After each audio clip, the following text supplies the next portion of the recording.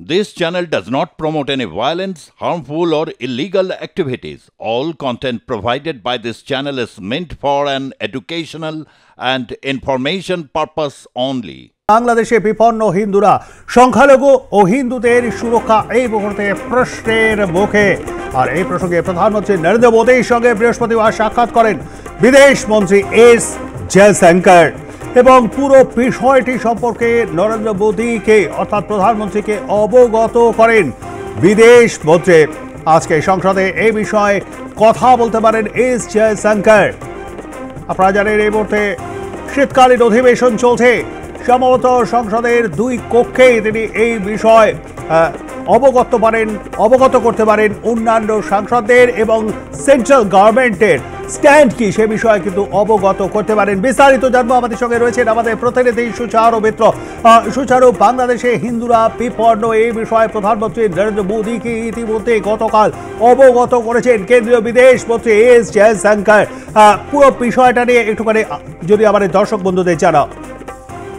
দেখো, প্রধানমন্ত্রী নরেন্দ্র মোদীর সঙ্গে বিদেশ সচিব এস জয়শঙ্করের কথা হয়েছে এবং সেখানে গোটা বাংলাদেশের এই মুহূর্তের পরিস্থিতি কি, সার্বিক পরিস্থিতি কি, তা নিয়ে কিন্তু প্রধানমন্ত্রী নরেন্দ্র মোদীকে জানিয়েছেন বিদেশ সচিব এস জয়শঙ্কর আজকে লোকসভা এবং রাজ্যসভা উভয় পক্ষতেই, সংসদের উভয় পক্ষতেই বিষয়টি জানাতে পারেন এস জয়শঙ্কর, যেটা জানা যাচ্ছে যে আজকে প্রথমাত্রেই সেই বিষয়টি তিনি সেরে ফেলতে পারেন। এবং সেখানে সংখ্যালঘু হিন্দুরা কি অবস্থায় রয়েছে, বাংলাদেশের অন্তর্বর্তী সরকারের প্রধান ইউনুস তিনি কীভাবে পরিস্থিতি সামাল দিচ্ছেন, নাকি গোটা পরিস্থিতির নিয়ন্ত্রণের বাইরে?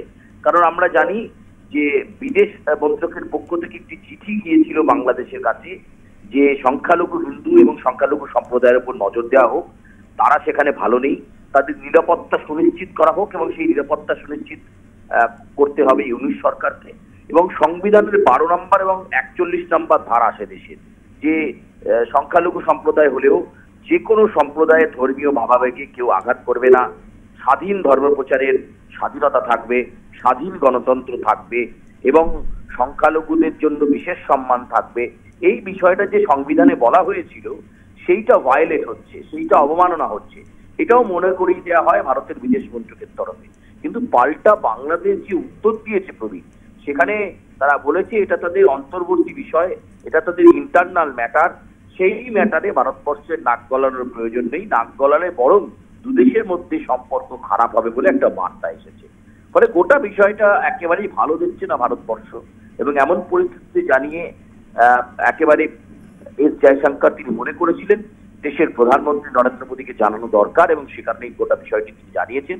এরপর প্রধানমন্ত্রী উপদেশ দেন যে, নির্বাচিত প্রতিনিধি এবং সদস্যরা যেহেতু লোকসভা এবং রাজ্যসভায় রয়েছে, গোটা বিষয়টা ভারতের সংসদে আলোচনার মতো বিষয় মানে গোটা বিষয়টাকে নিয়ে এস জয়শঙ্কর কি বলেন এবং একেবারে বিদেশ মন্ত্রক থেকে শুরু করে বিদেশ মন্ত্রী, বিদেশ সচিব, এই পর্যায়ে বাংলাদেশ নিয়ে কিন্তু যথেষ্ট উদ্বেগ রয়েছে।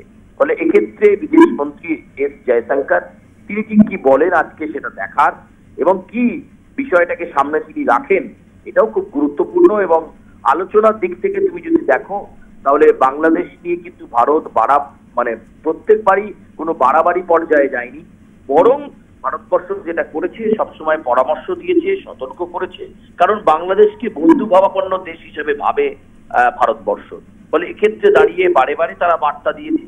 এবং যেখানে সংখ্যালঘু হিন্দুদের সুরক্ষার প্রশ্ন ঢাকা চট্টগ্রাম রংপুর কিশোরপুর আহ, নবাবগঞ্জ এছাড়াও একাধিক জায়গা রয়েছে প্রবীণ, যেখানে কিন্তু সংখ্যালঘু হিন্দুরা ঘর ছাড়া এবং বিশেষ করে ধর্মীয় প্রতিষ্ঠান অকাতরে ভাঙা চলছে। গতকাল রংপুরে একটি লোকনাথ বাবার মন্দির, সেখানে যেভাবে আক্রমণ হয়েছে, সেই মন্দিরের ভেতরে যারা ভক্তরা ছিলেন, তারা পালিয়ে যেতে বাধ্য হন।